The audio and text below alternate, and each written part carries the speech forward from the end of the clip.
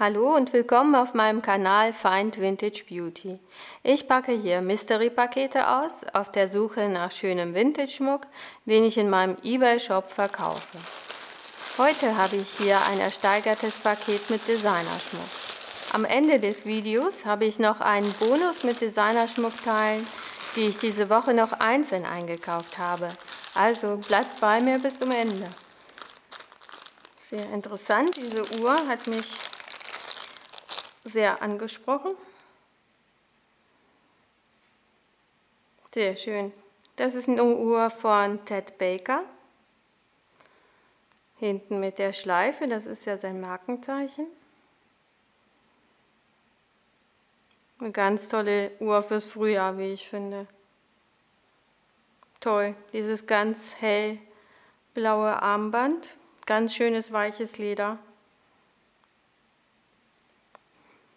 Das ist schon mal ein sehr schöner Fund. Dann habe ich hier Ohrstecker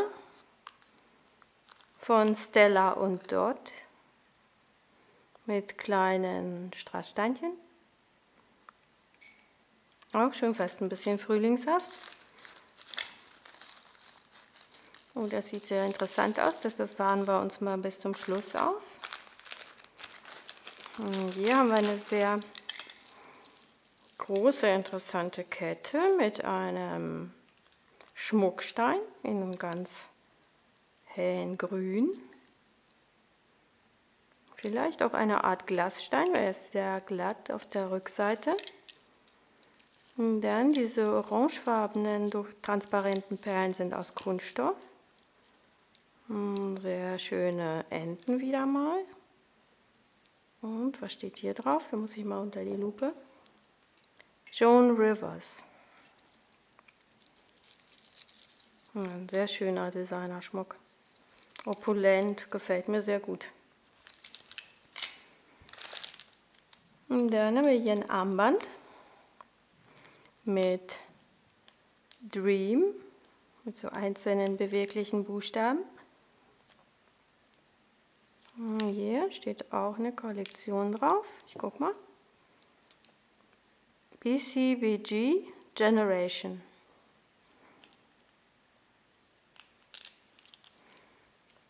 Dann habe ich hier ein Armreif.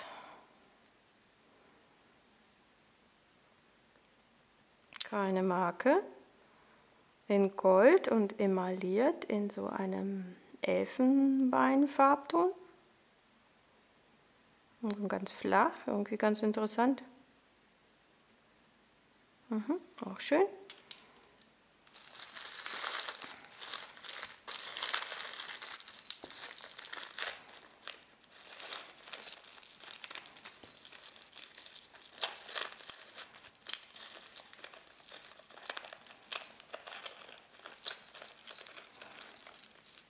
Hm.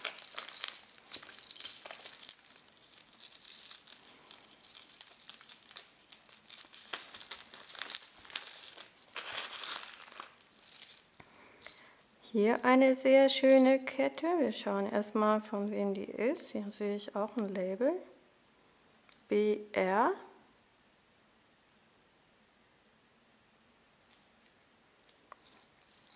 BR könnte Banana Republic sein. Diese Kugeln hier. Und wahrscheinlich aus Kunststoff, aber ich finde, die sind sehr schön gemacht. Schöne Kette, ein schöner Verschluss. Ja, gefällt mir gut. Hat auch was Elegantes, sehr schön.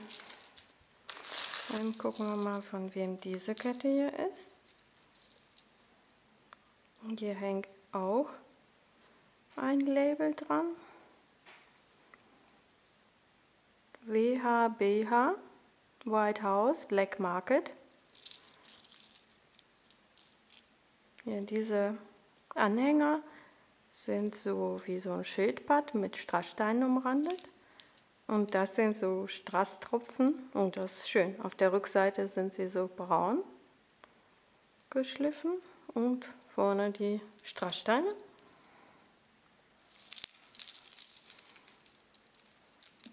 Zwei Stränge und auch so ein bisschen länger ist die Kette.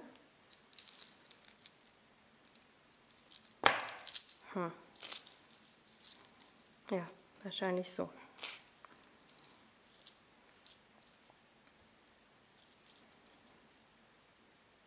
Ja, schön, gefällt mir auch gut.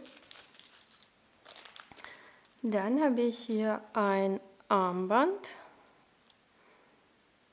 Hier auf dem Verschluss steht drauf Lucky Brand. Lucky Brand ist, glaube ich, so mehr eine ganz lässige Kollektion. Hm, diese Perlen sind aus Holz grün und braun und dann ist hier noch so ein schönes Stoffteil durchgezogen durch diese ganz so gehämmerten Kettenglieder. Ja, auch schön, gefällt mir. Und dann habe ich hier eine Kette von Luisa, steht hier drauf. so rot-goldfarben und auch mit Strassstein und das Ganze ist geflochten. Auch sehr schön.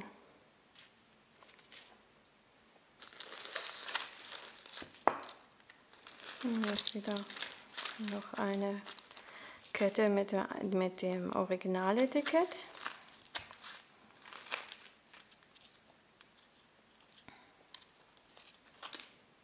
Hm. Erstmal dieses hier. Da finde ich den Anhänger sehr, sehr schön. Sehr schön. Auf der Kante ist er mit Strasssteinen versehen und hier ist ein Label. Ich schaue mal, von wem der ist. Hier steht drauf HLM Soho. Hm, sehr schön. Gefällt mir gut. Ja, hier steht es auch nochmal drauf. Eine ganz feine Schlangenkette dazu. Hm, das ist ein tolles Teil, das gefällt mir gut. Und dann habe ich hier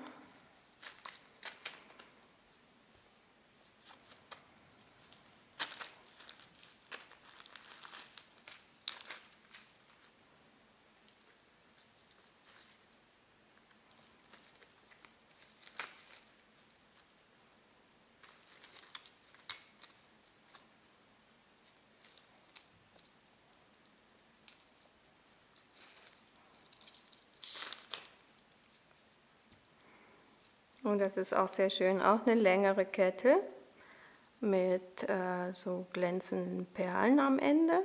Alles auch so ein bisschen rot-golden mit einem riesengroßen Tropfenanhänger. Und eine, eine Kollektion gibt es hierbei nicht.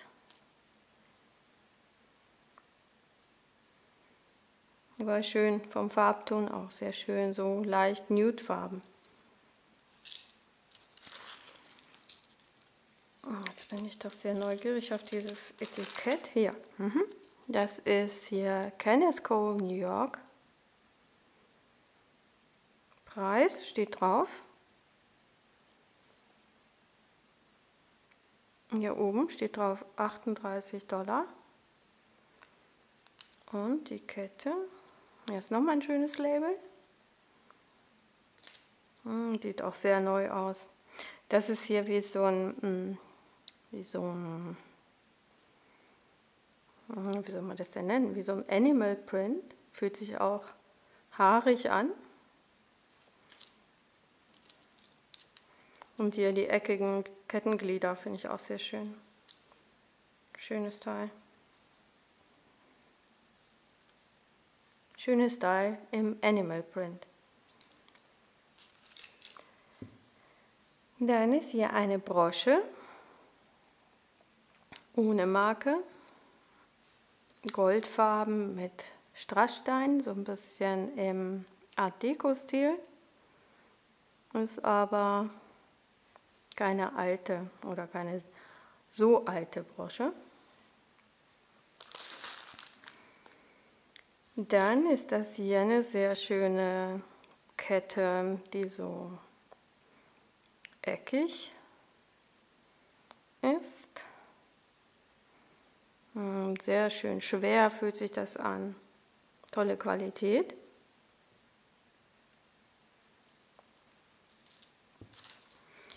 Und hier ist noch eine Kette in dem Animal Print. Auch wieder diese Textur. Sehr schön gemacht.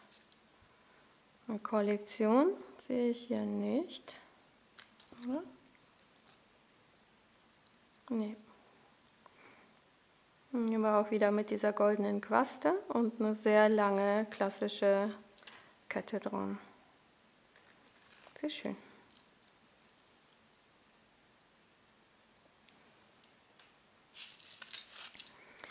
So, jetzt mache ich mich mal an die kleinen Tüten. Hier ist noch meine Heißkette mit einem grünen Stein. Schön eckig, so olivfarben. Der hat hier noch mal eine Öse. Hm, wahrscheinlich fehlt da irgendwas dran. Schade, schade. Die Kollektion, hier drauf steht. Die Heißkette ist von J. Crew. Schade, der Anhänger, der ist wirklich ganz wunderschön, so ganz dunkelgrün. Irgendwas scheint hier zu fehlen. Mal schauen, vielleicht findet sich ja noch ein einzelnes Teil. Das hier ist ein sehr toller Ring. Ein großer Cocktailring. Ich schau mal, was drin steht. Der Ring ist auch von J. Den führe ich euch mal vor. So sieht er aus. Hat auch was Schönes, Frühlinghaftes. Toller Ring, gefällt mir gut. Dann sehe ich hier ganz tolle Ohrringe in einem Grau-Grün. Ich sehe einen Stempel. Ja, wunderbar. Die Ohrringe sind von Swarovski mit dem Schwan gestempelt. Die gibt es in allen Farben. Es ist auch einer der Bestseller von Swarovski. Schöne Ohrringe. Sehr schön. Dann habe ich hier nochmal so ganz klassische eckige Ohrringe. Hm, da ist auch eine Marke drauf. Das sieht, ja. Das ist auch die Schwanmarke. Also die sind auch von Swarovski. Der Stein ist so schwarz, schwarzbraun. Eine schöne Größe, finde ich. So. Haben diese Ohrringe. Nicht zu groß, nicht zu klein. Richtig schön. Dann gibt es hier noch ganz tolle Ohrclips. Ich gucke noch mal unter der Lupe.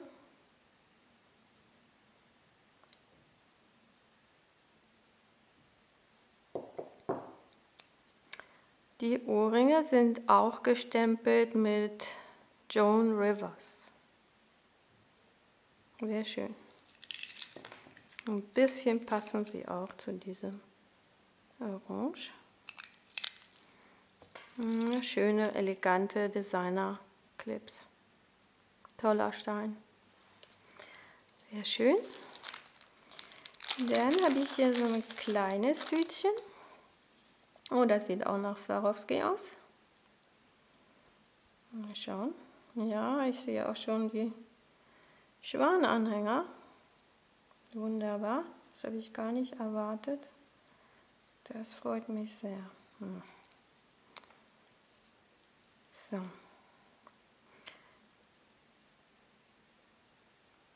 Das ist einmal so ein Kreisanhänger in Silber und hier am Ende haben wir den Schwan. Und es ist eine sehr, sehr beliebte Heißkette von Swarovski, die kann man auch sehr, sehr gut einsetzen. Dann, das sind scheinbar hier auch nochmal zwei Ketten.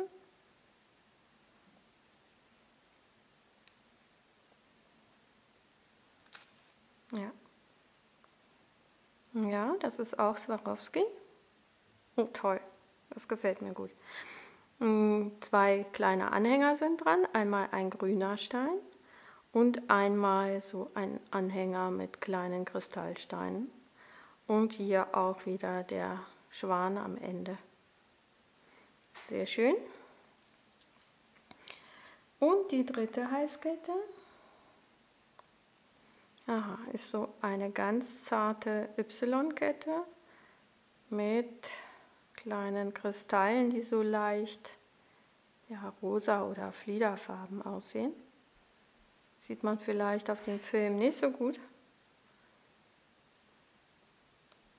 Werde ich dann noch mit Fotos nachholen. Und auch wieder der Schwan ist dran. Sehr schön. Ja, sehr schwierig, so ganz zarte Ketten zu zeigen. Dann haben wir hier scheinbar Ohrringe. Ja.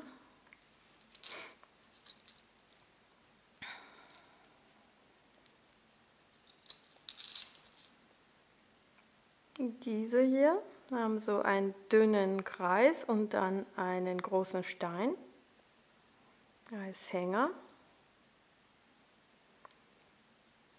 Sehr hübsch in so einem hellen Goldton und in diesem ovalen Stein sind noch so kleine Goldpartikel drin. Also das sieht auch sehr schön aus. Dann gibt es hier noch so goldfarbene Ohrringe. Ohne Marke. Aber wie ich finde, auch ein sehr schönes Design. Ganz leicht sind sie und so ein durchbrochenes Muster. Sehr schön. Sehr schön. Dann diese hier.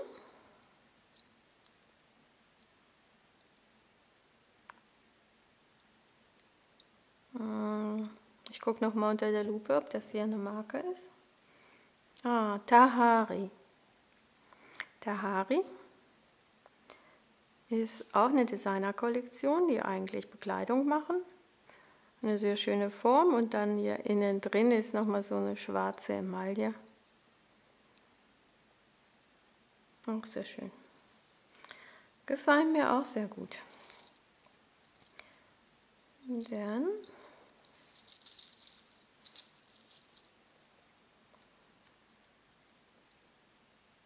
diese Ohrringe hier in Bicolor in Goldfarben und Silberfarben, so leicht gehämmert. Und hier ist auch eine Kollektion drauf.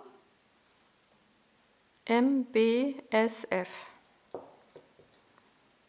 Tja, das weiß ich leider nicht, was das zu bedeuten hat. Ja, leider sind die ja schon so ein bisschen, naja, vielleicht lässt sich das noch aufarbeiten. Das Design ist schön. Der Zustand nicht so. Dann habe ich hier sehr schöne Hängeohrringe in einem ganz zarten Gelb. Ich hoffe, das sieht man. Ja, das sieht man. Ganz toll, so ganz toll geschliffen auch und die Fassung ist so auch so ganz in Wellen. Sehr schön. Schöne große Hängeohrringe. Dann hier nochmal in Tropfenform. Lange Tropfen mit Strasssteinen in Aurora Borealis umrandet. Ich gucke nochmal, ob ich eine Marke finde. Nein, keine Marke.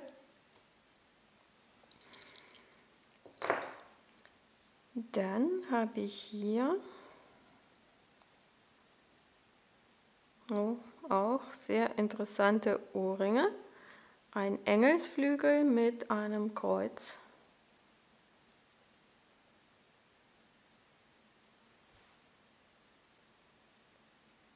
Schön. Und kleine Ohrstecker.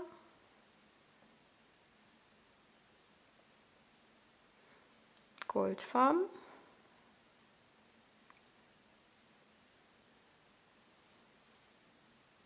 So sehen sie aus.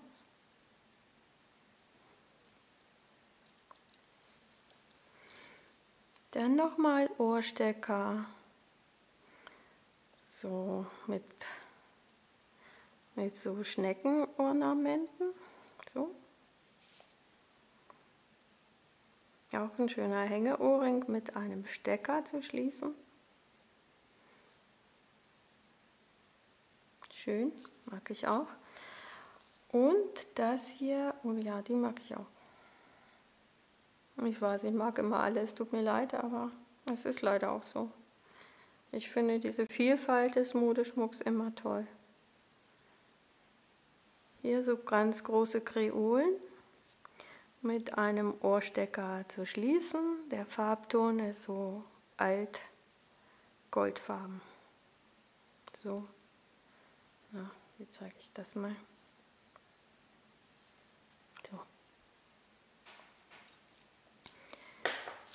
Und dann jetzt schauen wir noch mal in diese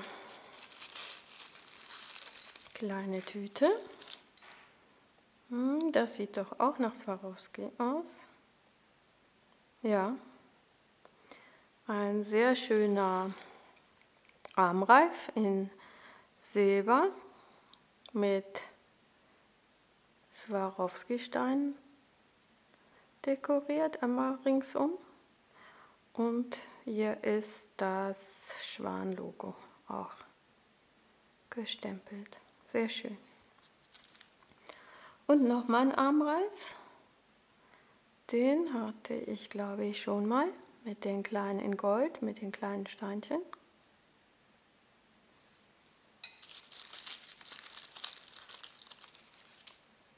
Hier haben wir eine Brosche, auch von Swarovski. Sehr schön geschwungen in, mit Strass und schwarzer Emaille dekoriert. Ein Armband, auch von Swarovski, mit so einem schönen Lederband und einem ovalen dunklen Stein. Sehr schönes Armband. So, ich sag das mal so. Sehr zart und ganz schick in schwarz. Und dann haben wir hier noch, noch eine Brosche. Wow. Die Blume ist geschliffen. Das ist also ein Kristall. Und dann der Stiel ist in Metall. Ganz schön. Schön und elegant. Wundervoll. Sehr, sehr schön. Ja, das war heute das beste Teil. Naja, ihr wisst ja, wie sehr ich Swarovski mag. Also das sind natürlich wirkliche Schmuck-Highlights, finde ich. Das und das. Dieses Armband ist toll. Ich finde aber auch diese, diese Ohrclips sehr schön mit diesem schwarzen Muster drauf. Dann natürlich mag diese Form sehr gerne diese achteckige Form. Dann finde ich diese Halskette war sehr schön ungewöhnlich. Und ich finde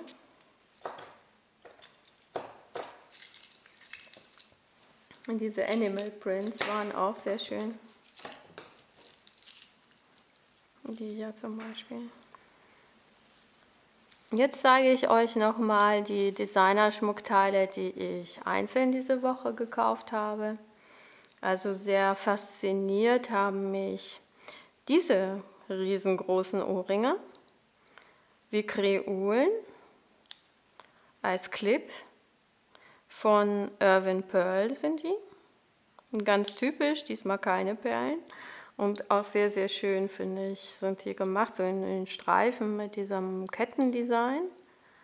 Von der Seite so oval.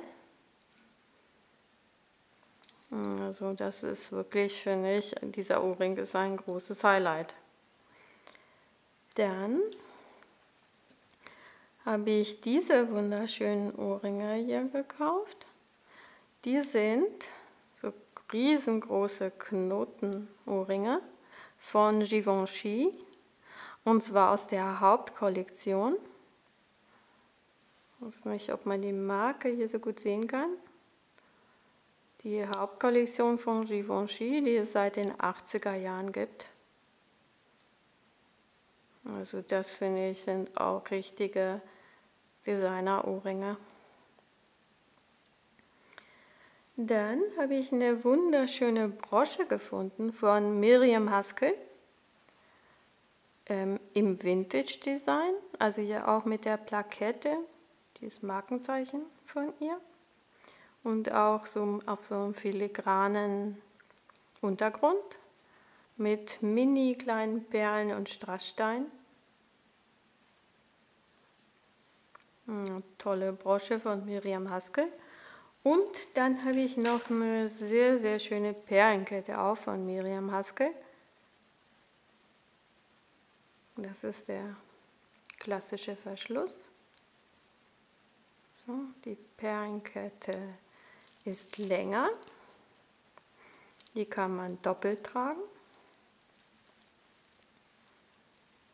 Und es ist eben eine sehr, sehr schöne Kollektion, ein Klassiker für die Ewigkeit. Vielen Dank, dass ihr heute zugeschaut habt. Wenn euch dieses Video gefallen hat, schenkt mir ein Like, abonniert meinen Kanal und schaltet nächste Woche wieder ein. Bis bald!